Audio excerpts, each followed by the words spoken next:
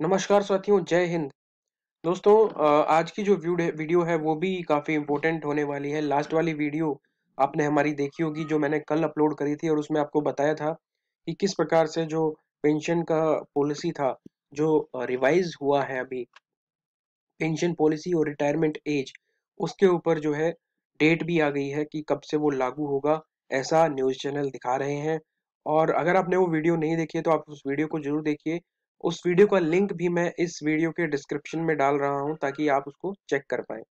तो चलिए आज की वीडियो के ऊपर बात कर लेते हैं, लेकिन उससे पहले आपको बताना चाहूँगा, अगर आप नए हैं तो हमारे चैनल को सब्सक्राइब ज़रूर कीजिए और राइट साइड में आपको घंटे का बटन दिख रहा होगा, आप उसको ज़रूर दबाइए ताकि आपके पास नोटिफिकेशन आपके पास आ जाए जब भी हम कोई नई वीडियो अपलोड करें। ये बिल्कुल फ्री ऑफ़ कॉस्ट है, आपका कोई पैसा नहीं लगता है इसमें। तो चलिए बात कर लेते हैं। आज की जो न्यूज़ है दोस्तों आप देख सकते हैं कि पीसीडीए अकाउंट्स यानी principal control of defence accounts pension Allahabad की जो वेबसाइट है वो हमने खोली हुई है, जो आपकी पेंशन और आपका जो भी पीपीओ से रिलेटेड जो चीज़ें होती हैं, उसकी देखरेख करता है। तो इसमें जो न्यूज़ आई है वो ये है कि दोस्तों, आप देख सकते हैं J JCO O R update till बीस ग्यारह दो हज़ार बीस, यानी कि आपके जो पीपीओ है वो अपडेट हो गए हैं बीस तारीख। 20 तारीख को नई अपडेट आई है इसमें कि नए पीपीयू आप यहाँ से देख पाएँगे। तो चलिए बता देते हैं आपको कि कैसे आपको कैसे चेक करना है। सबसे पहले आपको इस पर क्लिक करना है। इस पर आप क्लिक करेंगे। सबसे पहले आप इस पर क्लिक करेंगे। आप जब इस पर क्लिक करेंगे तो कुछ इस टाइप का आपके पास ये दिखेगा आपको बैकग्राउंड तो आप इसमें देख सकते हैं आपका record office R O code यहाँ पे लिखा हुआ है आर ओ नेम लिखा हुआ है। टोटल नंबर ऑफ़ केसेस कितने हुए हैं? सो मोटो केसेस कितने हुए हैं? ठीक है? कितने पेंडिंग हैं, कितने आगे फॉरवर्ड किए गए हैं, वो सारी चीज़ें हैं। और लास्ट में आप देख सकते हैं फाइनलाइज्ड केसेस हैं कि कितने फाइनल रिवीजन हुए हैं।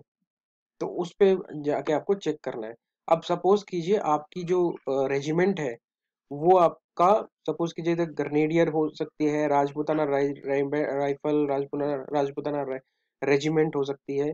तो आप उसमें चेक कर लीजिएगा। चेक करने के बाद आपको लास्ट में आपको क्लिक करना है। जैसे मैं यहाँ पे ग्रेनेडियर पे कर रहा हूँ तो यहाँ पे आप चेक करेंगे। आपका पुराना पीपीओ नंबर आपके पास होना चाहिए, ठीक है? पुराना पीपीओ नंबर से आप यहाँ पे सर्च करेंगे, आप देख सकते हैं ओरिजिनल पीपीओ नंबर ठीक है? ये आपका पुराना वाला पीपीओ नंबर होगा, इसके रिस्पेक्ट में आपके सामने नया वाला पीपीओ नंबर लिखा होगा। तो आपको अपने पुराने वाले पीपीओ से नए वाला पीपीओ चेक करना है। यानी कि देख सकते हैं आप, ये सपोज़ कीजिए मैं पहला उठाता हूँ S zero two six three five six one nine eight six तो इसका जो पीपीओ होगा, नया वाला, वो ये होगा nine six zero sorry one six zero one nine eight six triple zero six eight तो इसी तरीके से आप चेक कर सकते हैं अपना खुद का पीपीओ अब ये पीपीओ नंबर तो आपको मिल गया, अब आगे आपको क्या करना है, वो भी मैं बता देता हूँ। पहले इसको प्रीवियस उस पर चलते हैं पेज पे। अब इसमें आप नीचे देख रहे होंगे कि नीचे क्या लिखा हुआ है। Oppose the status of suo motu revision being done by PCDA after completion of suo motu revisions remaining cases will be initiated by respective record office. Revision in remaining cases will be done on receipt of such claims, okay? ये है बात पढ़ने वाली कि all these PPO ये जो नए PPO जो जारी हुए हैं ये डीपीसीसी यानी डिफेंस पेंशन कॉन्टेक्ट सेंटर, ठीक है, वहाँ पे हैंड ओवर कर दिए हैं to respective record office respect जो आपका रिकॉर्ड ऑफ़िस है, वहाँ पे डीपीसीसी को ये हैंड ओवर कर दिया गया है। तो इसके लिए आप, आपको अपने रिकॉर्ड ऑफ़िस से कांटेक्ट करना पड़ेगा। तो आप यहाँ से पहले अपना नंबर उठाएँगे न्यू पीपीओ का, उसके बाद आप अपने रिकॉर्ड ऑफ़िस में संपर्क करेंगे। एक और न्यूज़ आपको बता दूँ।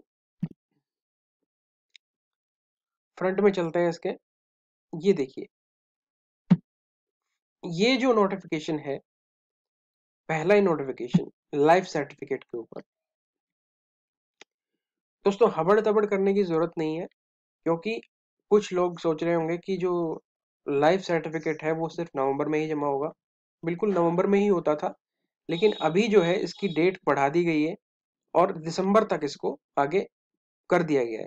कि यानी अगर आपने अभी इसको जमा नहीं किया है तो ज़रूरी नहीं है कि आप हबड़ तबड़ करके अभी के अभी जमा कराएँ। दिसंबर तक इसकी डेट जो है, वो बढ़ा दी गई है। तो बिल्कुल आप वेट कर सकते हैं।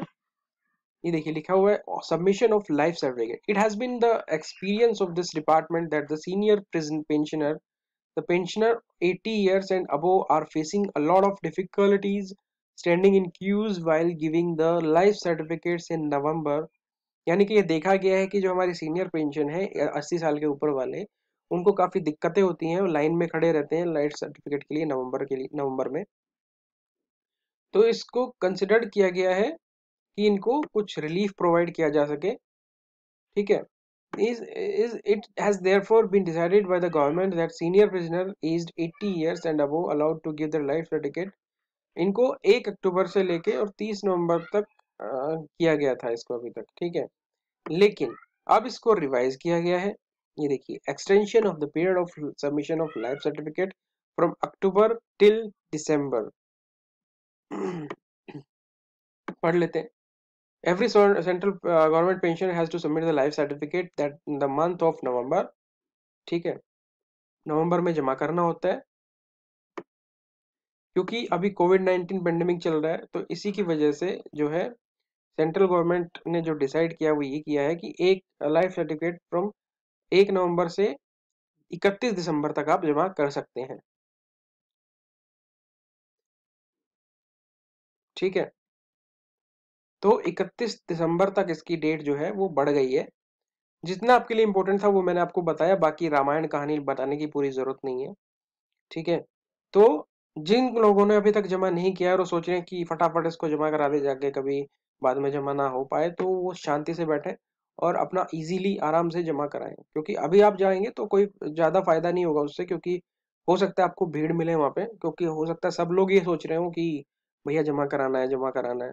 तो आप इजीली आप अगले महीने में जाएँ फ़र्स्ट वीक में चले जाएँ अगले महीने के और अपना लाइफ सर्टिफिकेट अपने बैंक में या फिर जहाँ से आप पेंशन लेते हैं, वहाँ पे आप जाके जमा करा दें।